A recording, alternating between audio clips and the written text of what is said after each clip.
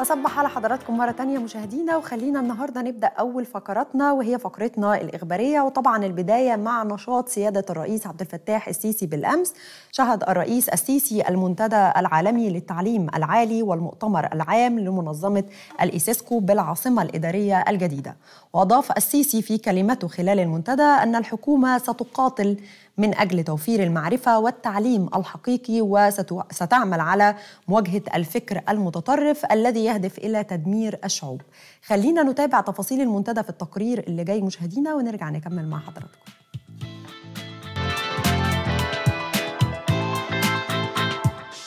هل مجتمعاتنا هتقدر تتحمل ده؟ مع وضع في الاعتبار. الوضع في الاعتبار اللي هقول لكم عليه إن إحنا في العالم الإسلامي أنا بتكلم دخلونا في متاهات كتير جدا بفكر متطرف جاهل يؤدي إلى إن إحنا نصطدم مع الواقع وحياتنا.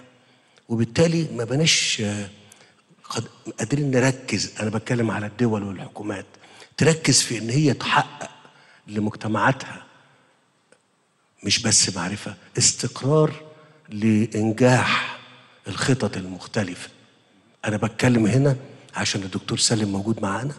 وبالتالي هو يعني في تقديري عشان نخلي إثراء نقاشنا ده أنا بتكلم على ال 55 أو ال 54 دولة دول يا ترى حجم الاستقرار اللي موجود عندهم قد إيه؟ يا ترى حجم القدرة الاقتصادية اللي موجودة عندهم حتى تستطيع إن هي تؤدي تعطي معرفة حقيقية تدي جودة حقيقية عشان نيجي النهارده يكون عندي في التعليم في مصر 24 25 مليون عشان اديهم تعليم حقيقي بجودة حقيقية عايز أرقام مش موجودة مش متاحة. وبالتالي هنا السبق اللي أنتوا بتتكلموا عليه هنبقى إحنا دايما دايما فيه متأخرين. وبعدين التسارع في التقدم بقى عالي جدا. يعني النهارده الثورة الأولى خدت لها 120 150 سنة الثورة الرابعة والخامسة خدت 30 سنة 20 سنة. مش كده؟ طب إحنا بقى بالطريقة ديت عقبال ما نحصل هنحصل إمتى؟ إحنا كده مش هنحصل. إحنا كده مش هنحصل. أنا هنا بقول في مصر إحنا جادين بإرادة لا تلين من أجل مجابهه تحدياتنا اللي منها التعليم. اللي بنعتبره هو يعني أساس البناء للدول التعليم الحقيقي والجودة الحقيقية. وبقول لينا دلوقتي وأرجو إن الكل يسمعنا. الجامعات العظيمة اللي موجودة في العالم أنتوا بتتكلموا عن حقوق الإنسان وأنا بتكلم معاكم عن حقوق الإنسان. عايزين تساعدونا؟ ساعدونا في إن إحنا يبقى لدينا معرفة وتعليم حقيقي زي اللي موجود بمعاييركم ومستوياتكم. عشان ده حق زي ما قال كورسيرا إن هو حق من حقوق الإنسان. أنا لو الطالب اللي عندي أو الطالبة لم تستطيع أن تحقق المعايير للالتحاق بالكلية لن لن لن تحصل على الفرصة. عشان تحصل على الفرصة لازم تكون متعلمة طبقا للمستوى التعليمي اللي بيتم القياس عليه. مش بيتعمل اختبارات للجامعات ديت قبل الدخول يا دكتور خالد؟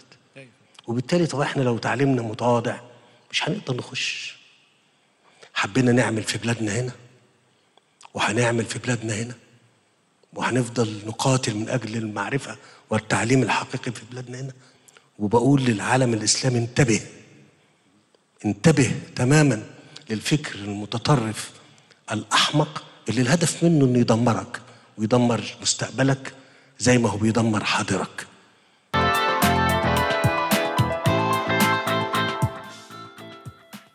أهلا بحضراتكم مرة تانية. اقتصاديا البنك المركزي يعلن عن ارتفاع الاحتياطي النقدي إلى 40.909 مليار دولار بنهاية شهر نوفمبر 2021 مقارنة ب 40.849 مليار دولار في نهاية شهر أكتوبر 2021 بارتفاع قدره نحو 60 مليون دولار. لتفاصيل أكتر إحنا معانا عبر الهاتف دكتور وليد جاب الله الخبير الاقتصادي وعضو الجمعية المصرية للاقتصاد والإحصاء والتشريع. صباح الخير يا دكتور. أهلا وسهلا صباح الخير. تحياتنا لحضرتك يا دكتور في البداية. أهلا وسهلا. خلينا في البداية نتكلم مع حضرتك عن مفهوم أو المقصود بالإحتياطي النقدي.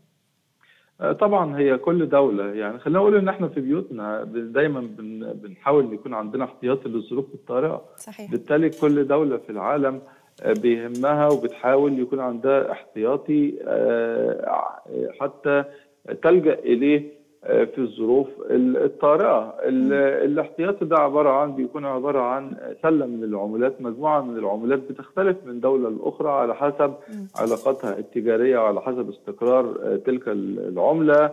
آه، أيضا بيدخل فيه أصول أصول بيدخل فيه وحدات سحب. آه، الذهب مكون مهم من مكونات الاحتياطي في الكثير من الدول آه، ومنها مصر. آه، المعيار الأساسي إن يكون هناك حد أدنى. إن ال- إن يكون احتياطي الدولة يكفي ثلاثة أشهر من احتياجاتها الأساسية. ده معيار ومعيار مهم جدا. آه، بالنسبة لمصر آه، هذا المعيار مستوفي بشدة لأن مصر النهارده الاحتياطي بتاعها بيغطي نحو 8 شهور من آه، احتياجاتها الأساسية. يعني أنا النهارده لما بنقول إن مصر آه، بتستورد بنحو آه، 55 مليار دولار سنويا. اذا هو هي بتستورد بمتوسط نحو 5 مليار شهريا. آه، الاحتياطي لما بيتجاوز ع- 40 مليار يبقى إحنا بنتجاوز ثمانية أشهر. الاحتياطي بيغطي آه، احتياجاتنا لمدة ثمانية أشهر. اذا الأمور الاحتياطي المصري احتياطي آه، جيد ومناسب ومتجاوز للمعايير العالمية. صحيح صحيح. طيب خلينا نعرف من حضرتك مصادر العملة الصعبة اللي بيستند إليها الاحتياط- الاحتياطي النقدي. طبعا مصر عندها مصادر متنوعة. أهم مصدر بالنسبة لها هو الصادرات المصرية. آه بعد كده بيجي آه التحويلات المصريين العاملين بالخارج اللي تجاوز في الفترة الأخيرة 30 مليار آه، دولار سنويا. آه يأتي بعد ذلك ال- القطاعين السياحة والسياحة وقناة السويس السياحة كانت بتدخل حوالي قبل قبل تداعيات كورونا نحو 13 مليار دولار ثم تراجعت ولكن قناة السويس لا زالت آه، بت- بتقدم نحو 6 مليار آه، ما بين 5 ل 6 مليار دولار. آه، واتصور إن هي هتصل إلى رقم 6 مليار في الفترة القادمة مع تعافي التجارة الخارجية الحقيقة مصادر متنوعة. يعني مصر من الدول اللي لديها اقتصاد متنوع ولديها مصادر متنوعة للحصول على العملة الأجنبية. نعم. طيب إحنا يعني حضرتك ذكرت إنه تقريبا نسبة متوسط الاحتياطي النقدي الحالي 8 يعني 8 أشهر ولا في زيادة؟ آه، هي المتوسط بي- بي- بيدور في ذلك. أنا مش عايز نقول إن ده رقم قطعي لأن يعني آه، ممكن الصادرات تزيد. الواردات تقل ولكن هو في المتوسط آه، المتوسط اللي إحنا بنتكلم عنه النهارده إن إحنا نحو نحو ثمانية آه، أشهر وده رقم كبير جدا وبيكون له تأثير حقيقي. إيجابي في أمور أكيد. كثيره صحيح. طيب خلينا نروح لسلة العملات الدولية. يعني نعرف من حضرتك ممن تتكون آه، سلة العملات الدولية التي يشملها الاحتياطي النقدي. الاحتياط المصري عبارة عن قبل سلة العملات إحنا عندنا آه، نسبة من من الذهب وبن- وبنزيد باتفاق مع الشركة ال- شركة المنجم منجم السكري. نعم. آه، بيكون هناك تبادل ما بينها بن- البنك المركزي بيغطي لها احتياجاتها مقابل إن هي بت بت بت بتقدم ذهب بيرفع الاحتياطي بنسبة آه، تدريجية. مم. آه، آه، لدينا أيضا وحدات سحب في ال- الصندوق النقدي الدولي لدينا سلة العملات. سلة العملات المصرية غير ثابتة. هي هي سلة متغيرة على. حسب آه، أمور كتير لأن الاحتياطي له إدارة وبيتم إدارته. صحيح. الاحتياطي المصري آه، آه، طبعا إحنا عندنا ال- الدولار واليورو وعندنا أيضا وحدات بالعملة الصينية. هي مجموعة من العملات آه، ال- ال- بحيث إنها بتكون بنسب آه، مرتبطة بعمليات التبادل التجاري اللي بتقوم بها مصر مع ال- الدول الأخرى. يعني مش ثابت آه آه، بيتم بي- بيتم إدارتها بصورة تحقق المصلحة ال- المصرية. نعم. طيب هروح مع حضرتك للوظيفة الأساسية للاحتياطي النقدي آه، الأجنبي لدى البنك المركزي. طبعا هي الوظيفة الأساسية آه، طبعا هي إن هو بيحمي مصر من الصدمات مم. أنا عايز أقول إن إحنا في تداعيات بداية تداعيات كورونا كانوا استثمارات الأجانب في مصر حوالي 28 مليار في خلال أسابيع مم. الاستثمارات الأجانب دي تخرجت بسبب آه، صدمة كورونا آه، ونزل خر- خرج من مصر 14 مليار دولار في أسابيع طبعا الاحتياطي كان له دور مهم جدا في إن هو يغطي آه، تخرجات الأجانب لأن من المهم جدا للدولة إن إن إن الاستثمار الأجنبي سواء المباشر أو غير المباشر. آه، يكون عنده آه، يقين إنه إذا خرج من الدولة يقدر يسترد أمواله في أي لحظة وده اللي تم لما الاحتياطي قام بدوره وغطى التخرجات الأجانب في بداية تداعيات كورونا واتخذ بعد ذلك مسارا تصاعديا زي ما إحنا شايفين. صحيح. ده أدى إلى ثقة من المستثمرين الأجانب لترتفع استثمارات الأجانب في الدين الحكومي. آه، بعد ما نزلت من 28 مليار إلى آه، نحو 14 مليار تجاوزت الآن 30 مليار بم- بمستويات أكثر من ما قبل آه، أزمة كورونا. نعم. اذا الاحتياطي مهم جدا لأنه بيكسب آه، الثقة للمستثمر الأجنبي صحيح. والمستثمر المصري وبيرفع مؤشرات ال- ال- الثقة آه، الاقتصادية في الاقتصاد المصري في كل المؤسسات بيعزز بيعزز التصنيف الائتماني هو له دور متعدد ال- الأهميات. صحيح أنا بشكر حضرتك جدا يا دكتور على كل هذه المعلومات. بشكرك دكتور وليد جاب الله الخبير الاقتصادي وعضو الجمعية المصرية للاقتصاد والإحصاء والتشريع. بشكر حضرتك شكرا جزيلا يا دكتور. معانا تقرير خاص باستقبال مركز الإصلاح والتأهيل وادي النطرون عددا من شباب الجامعات.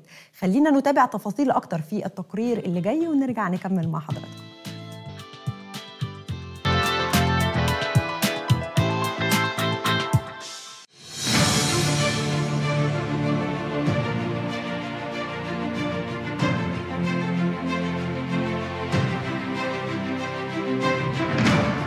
زيارة شباب الجامعات لمركز الإصلاح والتأهيل وادي النطرون تجربة فريدة أرادت بها وزارة الداخلية أن تطلعهم على إنجاز إنساني على أرض الوطن لتأهيل النزلاء وبناء إنسان جديد قادر على العمل والبناء والاندماج الفوري في المجتمع بعد قضاء العقوبة أيا كانت مدتها.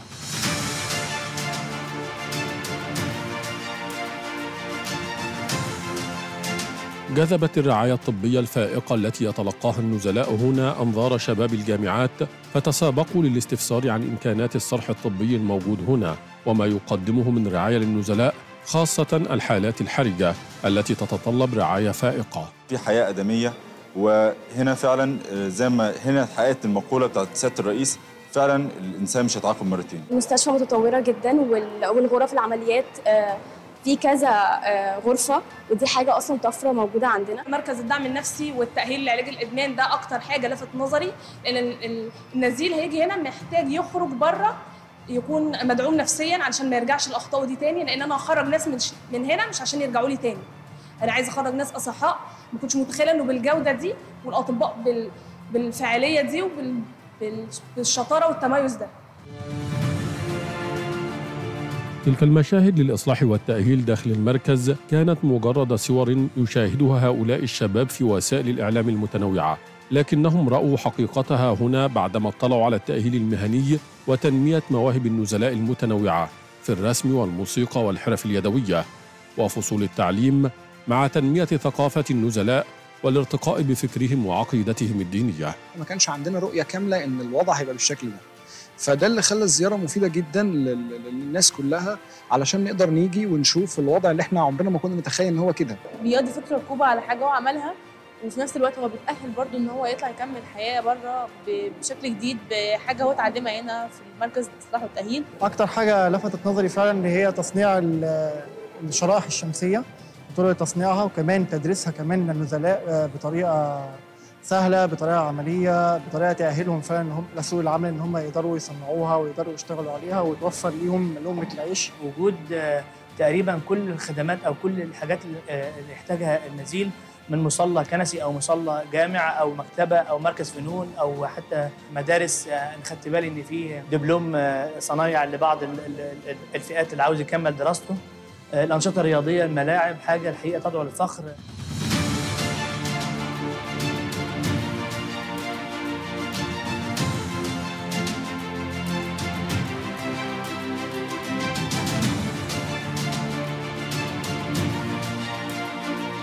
جولة داخل المزارع والمصانع داخل مركز الإصلاح والتأهيل وادي النطرون غيرت المفاهيم التقليدية لهؤلاء الشباب الذين سمعوا فقط عن المركز لكنهم لم يشاهدوه قبل اليوم واقعيا وإنما يقال عنه هو حقيقة وفي مقدمتها الالتزام بالمعايير الدولية لحقوق الإنسان. الشباب مبهورين باللي شافوه حابين ينقلوا كل اللي شافوه ده لزمايلهم وهم بالفعل أصبحوا سفراء لينا ينقلوا وجهة النظر اللي هم شافوها. بجد ال- الحاجات اللي إحنا شفناها ديت الشباب يعني كانوا متخيلين إن هم جايين يشوفوا سجن بالشكل التقليدي اللي إحنا يعني عارفينه. بجد لما شافوا مركز الاصلاح والتأهيل ده والخدمات اللي المقدمة للنزلاء آه، حاجة رائعه بجد أنا فخورة جدا إن إحنا من أول الطلاب اللي زرنا المكان ده.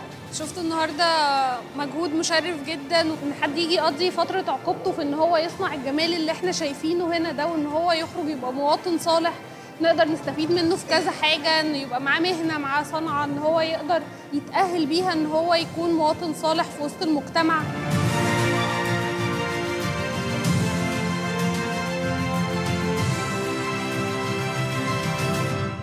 يجسد مركز الإصلاح والتأهيل وادي النطرون. حرص الدولة على المضي قدما نحو بناء الإنسان والالتزام بحقوقه حتى ولو كان مقيد الحرية. يقضي عقوبة فله الحق في الحياة.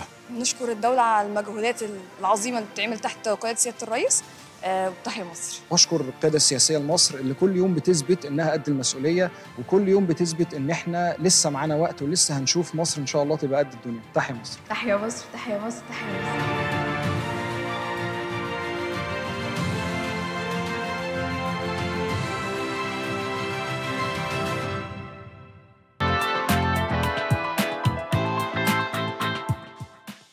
برحب بحضراتكم مرة تانية. رياضيا انتهت مباريات دور المجموعات ببطولة كأس العالم أو عفوا كأس العرب 2021 والتي تقام في دولة قطر. وتأهل الفريق المصري لدور ربع النهائي بالبطولة واحتل المركز الأول في جدول ترتيب مجموعته. لتفاصيل أكتر إحنا معانا عبر الهاتف أستاذ طارق رضوان الإعلامي والمحلل الرياضي. صباح الخير يا أستاذ طارق. صباح النور يا فندم أهلا بحضرتك. تحياتنا لحضرتك في البداية. الله فندم. خلينا نعرف من حضرتك يعني عدد آه، المنتخبات التي تأهلت بالفعل لدور ربع النهائي ببطولة كأس العرب. هو ثمان منتخبات إن شاء الله والثمانيه دول هيلعبوا نظام الكؤوس مع بعض يعني خلاص المغلوب بيخرج. يعني الدور مم. الأول كان مجموعات. كل فريق لعب ثلاث مباريات في مجموعته. الدور القادم دور الثمانيه أو الدور ربع النهائي المغلوب يخرج. فيوم السبت مصر إن شاء الله بتلعب مع الأردن. والجزائر بتلعب آه، مع المغرب الماتشين دول يوم السبت ويوم الجمعة عندنا ماتشين عندنا تونس وعمان وعندنا قطر والإمارات الماتشين دول يوم الجمعة إن شاء الله إن شاء الله إحنا هيكسب في الفرق الثمانية مم. هيطلع إلى الدور نصف النهائي أو المربع الذهبي إحنا بالتحديد موعد الكؤوس. مصر والأردن الساعة كام؟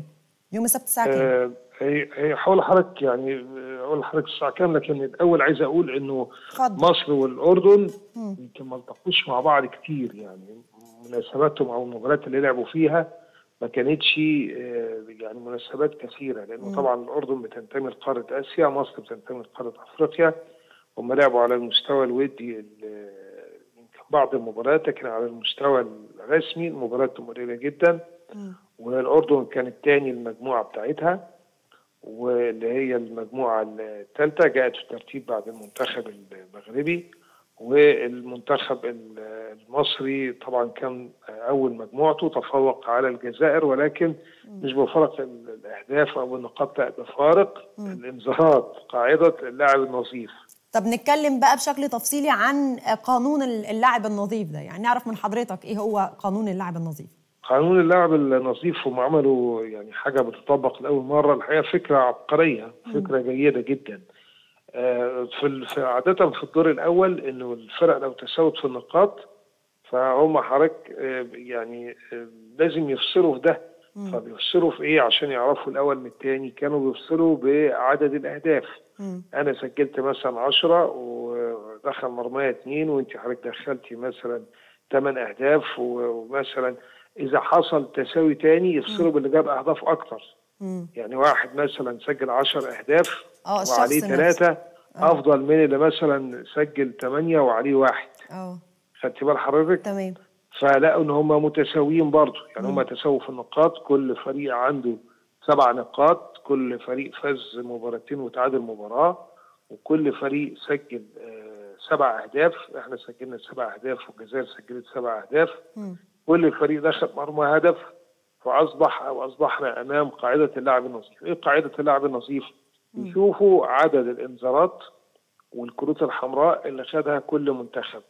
اللي خد طبعا عدد أكبر من الانذارات أو الكروت الحمراء طبعا بيخرج من المنافسه أو بيبقى الثاني الثاني واللي حصل على عدد أقل يعني معناها إنه كان سلوكه أو الانذارات اللي خدها كانت أقل.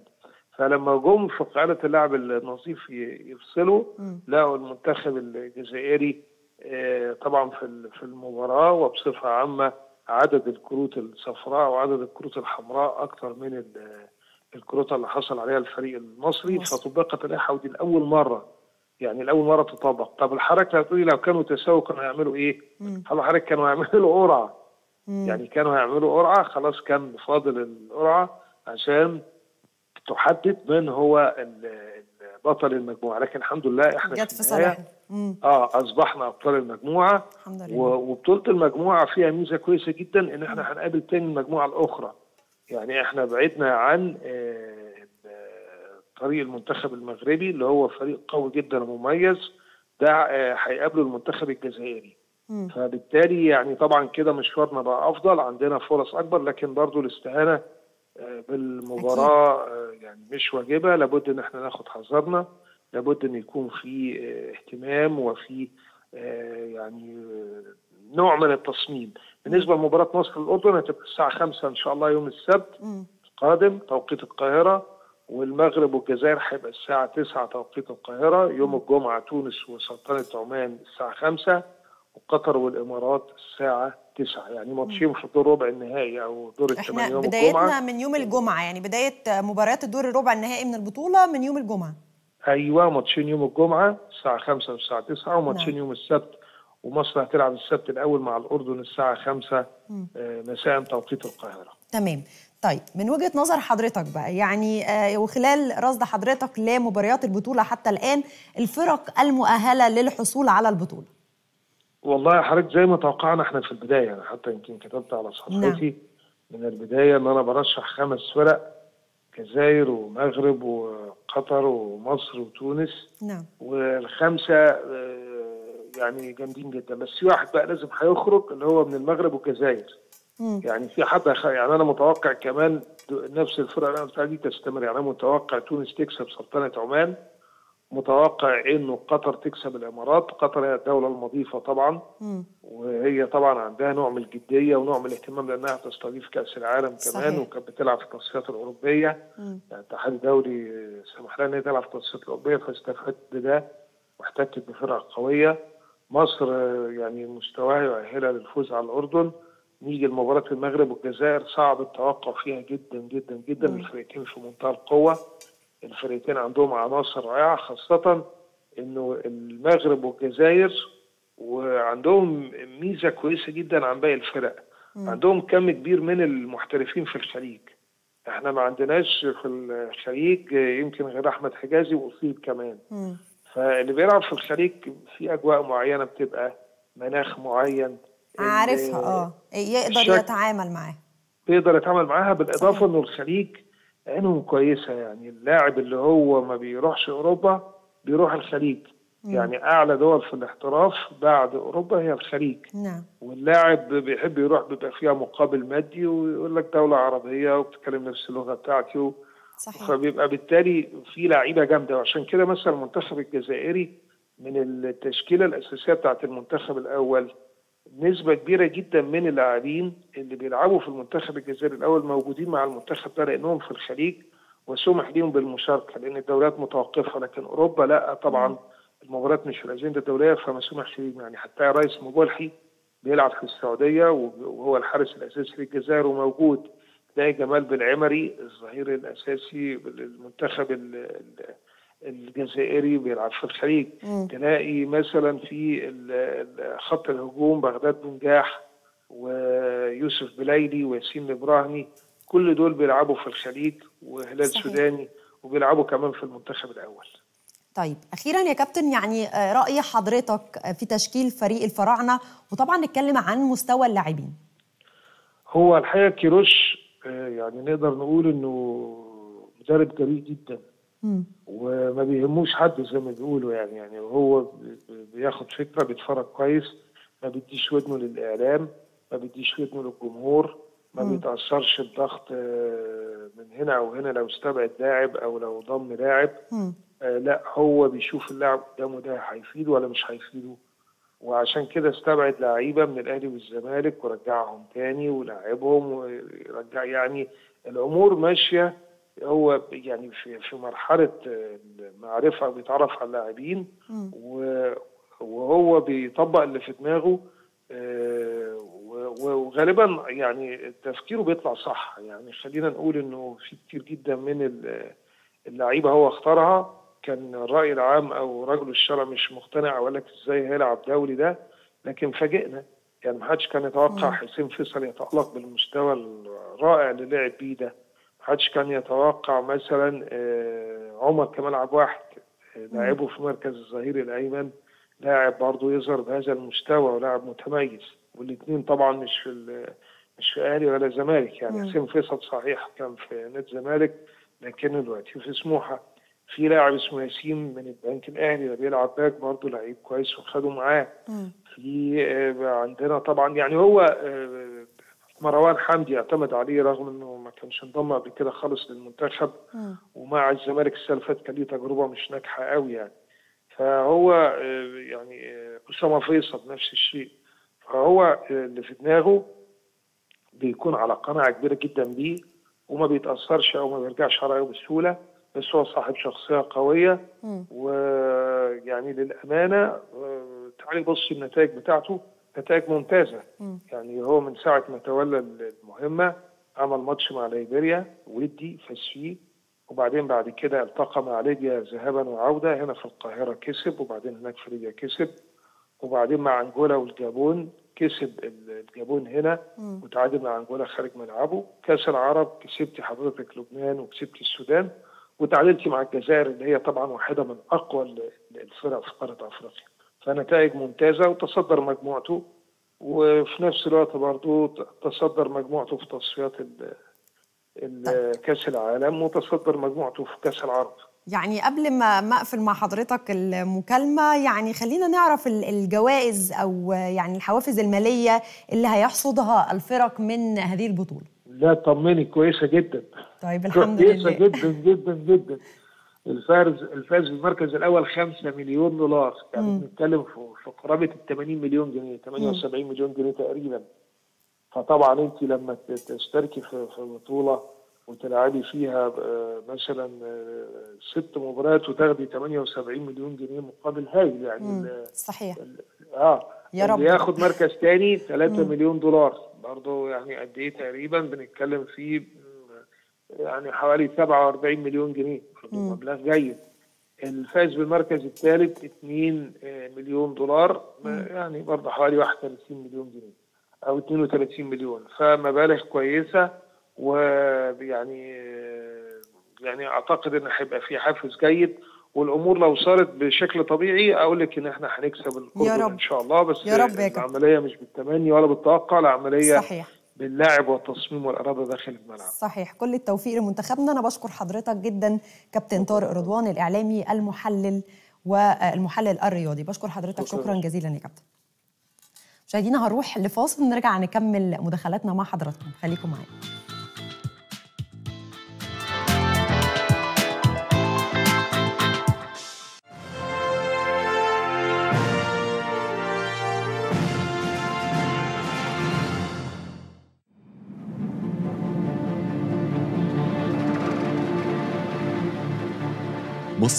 مش أي أرض مش حبات تراب ورمل دي كل شبر فيها يعني فرصة يعني أمل.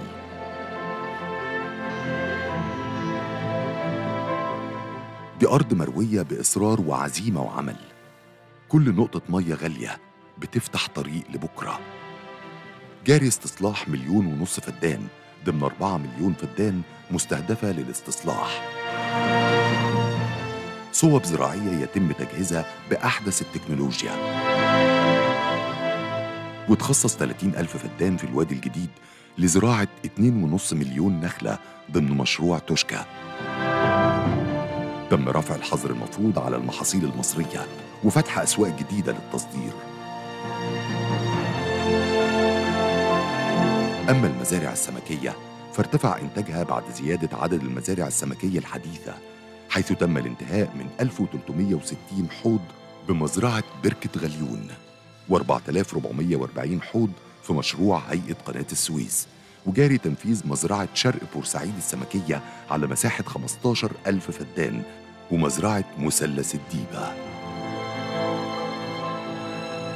ونخلق في الرمل حياة وجمال وإيدين تحصد خير ملهوش حد.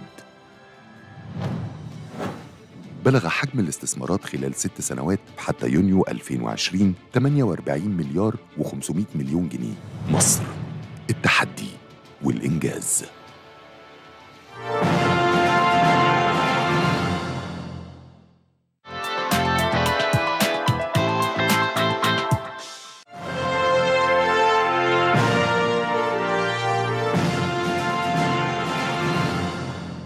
افتح عينيك على المستقبل. شوف عن قرب.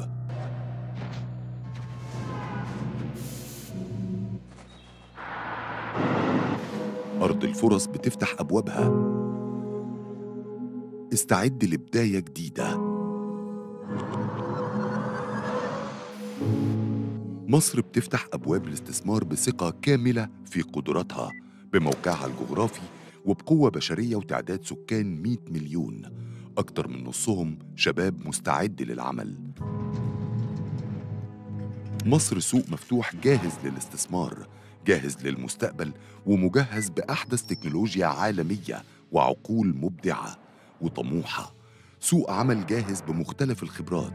مصر وفرت بيئة تشريعية وتنظيمية جاذبة للمستثمر. تسهل عليه المهمة بمراكز خدمة خاصة للمستثمرين في كل المحافظات.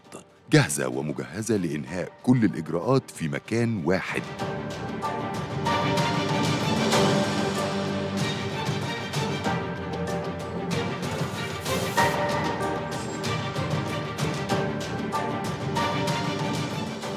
مصر وفرت بيئة تساند وتدعم صغار المستثمرين ورجال الأعمال في كافة المجالات.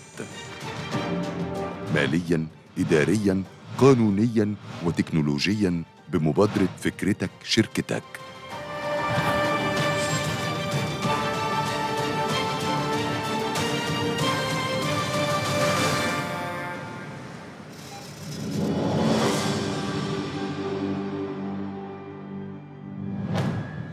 بلغ إجمالي الاستثمارات خلال ست سنوات حتى يونيو 2020 11 مليار و700 مليون جنيه. مصر التحدي والإنجاز.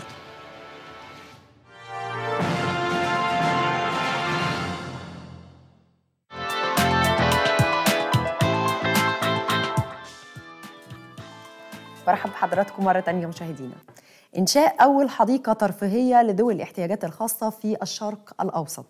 فقد نفذت مديرية الشباب والرياضة في الأسكندرية أول حديقة ترفيهية متخصصة للأطفال من ذوي القدرات الخاصة والهمم بمركز شباب النصر وهي تعد الحديقة الأولى على مستوى الشرق الأوسط. للتفاصيل أكثر عن هذه الحديقة إحنا معانا عبر الهاتف دكتورة صفاء الشريف وكيل وزارة الشباب والرياضة في الأسكندرية. صباح الخير يا دكتور. صباح الخير يا فندم على حضرتك وعلى كل المشاهدين. تحياتنا لحضرتك يا دكتور. يعني خلينا نعرف في البداية فكرة عن الحديقة وكمان يعني سؤال دايما أو أول ما قرينا الخبر جه على أذهان الكثير. هل الألعاب داخل الموجودة داخل الحديقة مخصصة بالفعل لا أو تناسب الأطفال ذوي الهمم؟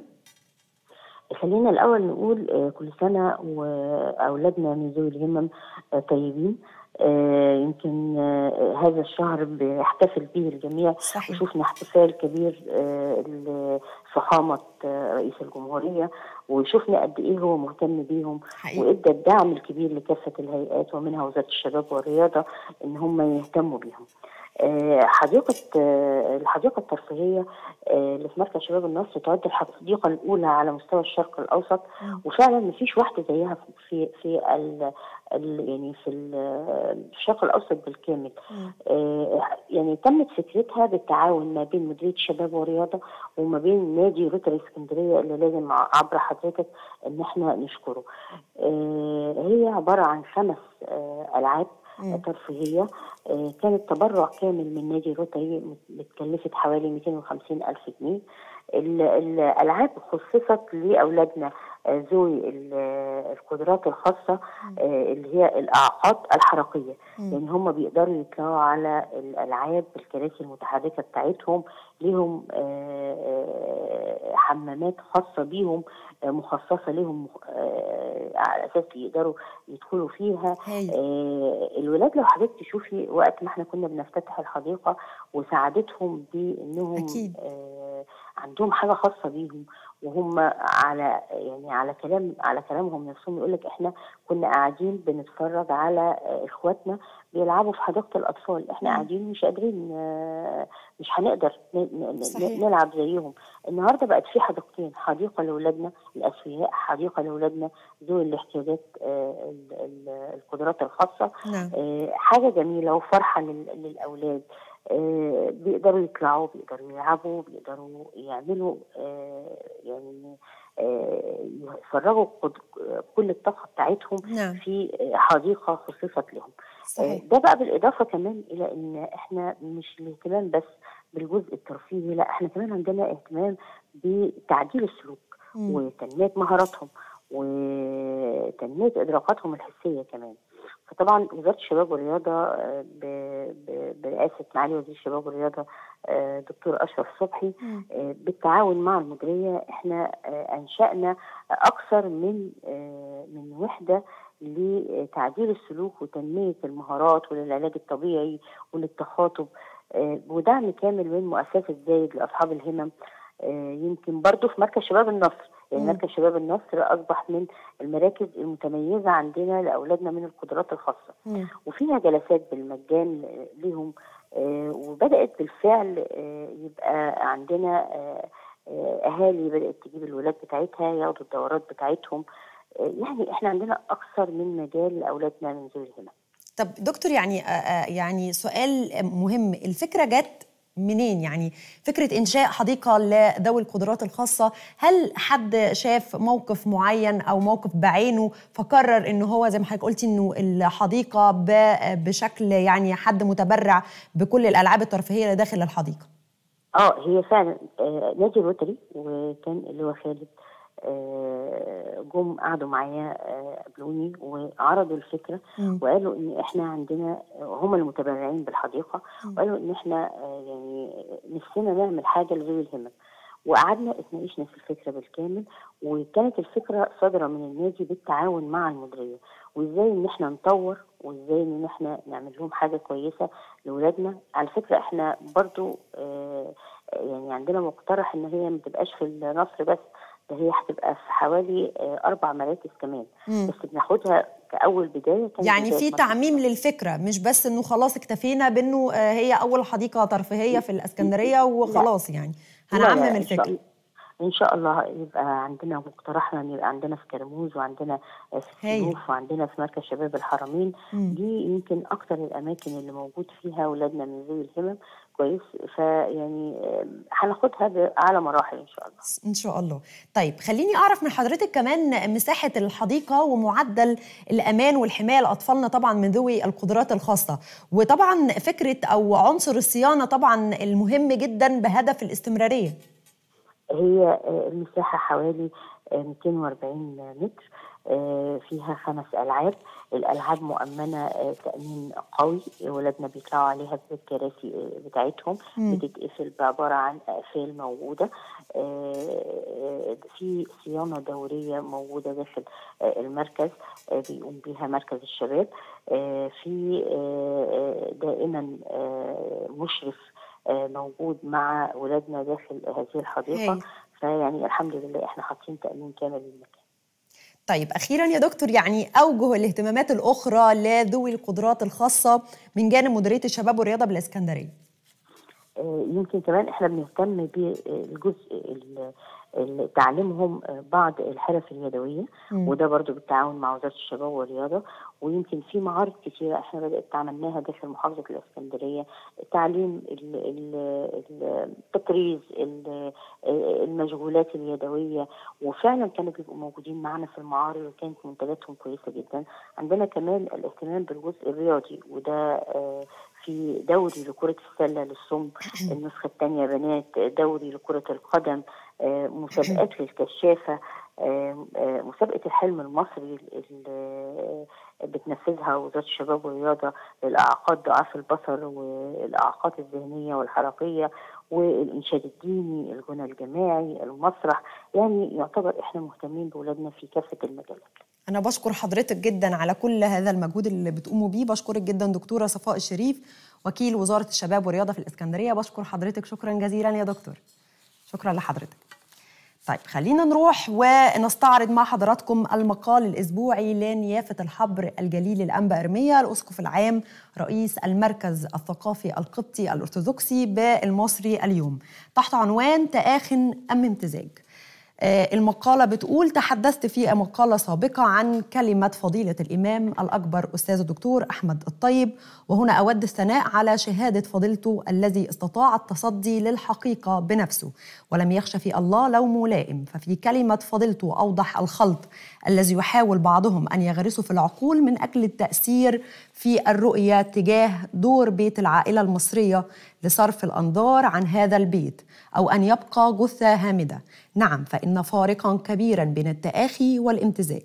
فالتآخي هو محاولة عيش المصريين مسلمين أو مسيحيين في سلام مما يحقق أمن الوطن وازدهاره. أما الامتزاج فهو يعني تبني أفكار الآخر والإيمان بها. وهذا أمر وهذا أمر غير وارد أبدا. فالعيش بسلام والتآخي لا يعني أن يتحتم على شخص تبني إيمانيات الآخر. وكما أشار فضيلة الأستاذ الدكتور أحمد الطيب إلى إلى التوجيهات التي تناهد أو تنادي بالإبراهيمية اللي هي محاولة مزج اليهودية والمسيحية. والإسلام لتصير دينا واحدا يتفق عليه البشر. فإنها محاولات حتى إن كان ظاهرها هو تحقيق السلام فإنها تفتقد كثيرا من الرؤية ولما وهبه الله للبشر من سمات أحدها الحرية. لقد أعطى الله البشر طريقين لا ثالث لهما إما أن يسلكوا بمبادئ الخير وإما أن يجنبوها من حياتهم. إما أن يعملوا بتفان لأداء رسالتهم مساندين بعضهم بعضا بالتشجيع والتعاون وإما أن يعملوا من أجل ذواتهم بعضهم على حساب بعض بالسيطرة على المصاير. إن الله وهب للإنسان الحرية ليختار الطريق التي يرغب في السير فيها. وقد عبرت الأديان جميعها عن أو عبرت الأديان جميعها عن أهمية كرامة الإنسان وحريته الكاملة الموهوبة له من الله. وتركت الاختيار له في اتباع وصاياه أو رفضها مع تحمله مسؤولية اختياره. وإن كان الله قد طلبنا بأن أن نصلح في الأرض لا أن نفسد فيها فإن البشر في هذا الزمان يفسدون الأرض تحت مسميات لا يرضى عنها الله. منها ما يدعون إله أصحاب الأي... أصحاب الأيديولوجيات الموجهة تحت مسمى الحرية أو وحدة الأديان أو الدين أو الدين العالمي الموحد أو الدين الإبراهيمي.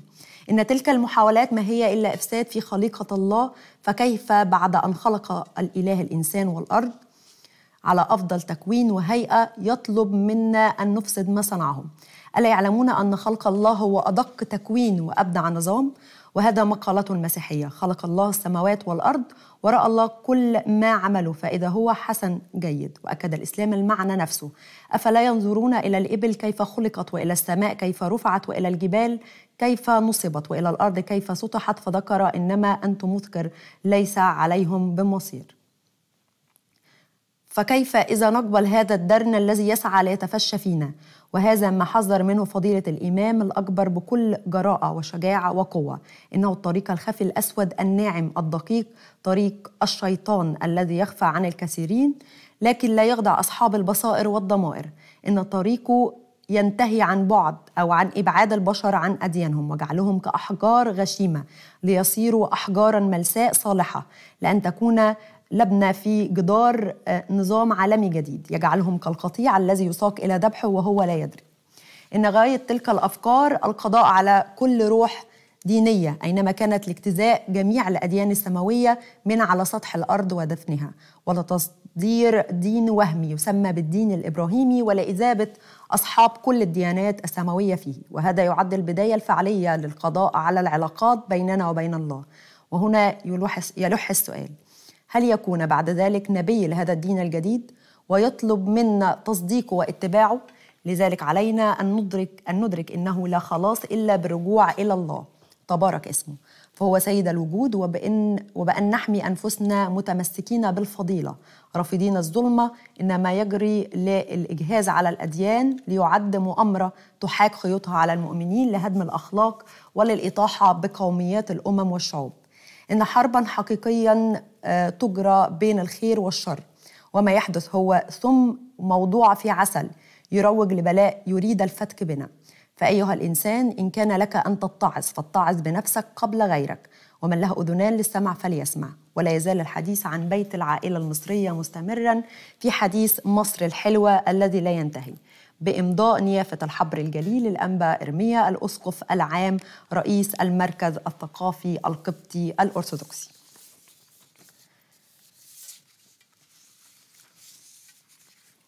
خلينا نروح لفاصل ونرجع نكمل مع حضراتكم باقي أخبارنا. خليكم معانا.